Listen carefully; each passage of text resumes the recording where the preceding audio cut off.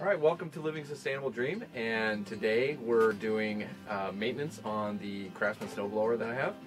And so the maintenance that we're looking at is gear shaft lubrication. It's in the owner's manual, and you're supposed to do this every 25 hours of operation, which um, I have uh, not done. So what we're going to do is we're going to move um, these 3 8 inch bolts here.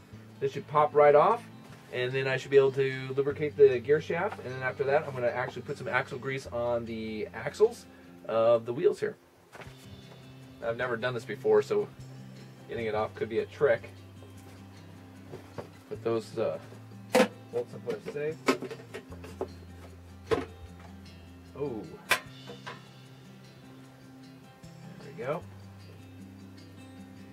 Nice little web there. Someone's been living in there. Here's the axle. Here's the gear drive.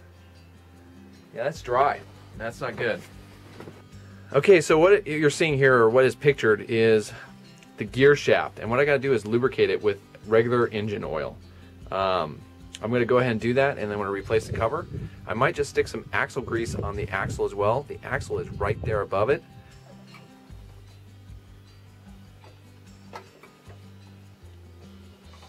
Careful not to spill it on anything down below. Okay, so I got that nice and uh, oiled up.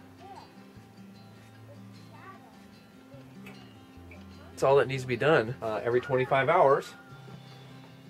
Definitely every season. Which um, my wife and I were kind of figuring out how long we've had this snowblower. I've had it for about four seasons. This is the first time I've done it. I'm horrible at maintenance. I never really take the time, never really think about it. I don't have a shop. As you can see out here, I'm working in the snow. When putting axle grease on your actual axle, you gotta make sure that when you pull it apart, I need to remove the sleeve. So I'm gonna show you real quick. You definitely have to have all these on the ground, otherwise it'll spin freely. Put that in your pocket.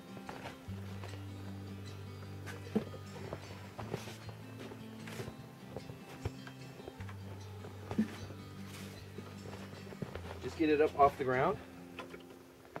Okay, now you actually need to take the whole thing, put axle grease all the way down it.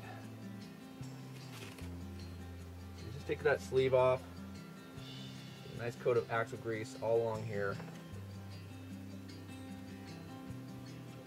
There we go, all the way to the very back. And that should do it.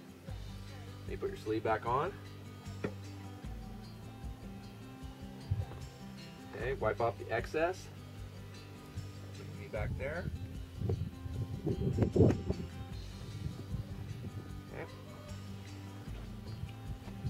And put it right back on.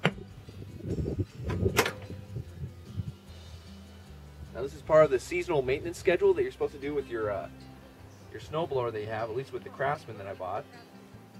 I will say this, after uh, looking online at different videos, I really do like the Craftsman, only for the fact that it is very easy to pull apart, to do takedown. Whoever engineered this really thought it through for maintenance on not making it a problem or a or like complicated. It's a very simple machine, um, especially taking the the auger housing off.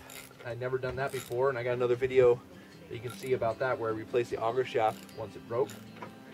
And it was actually a really easy fix. Probably a couple hours of time. It's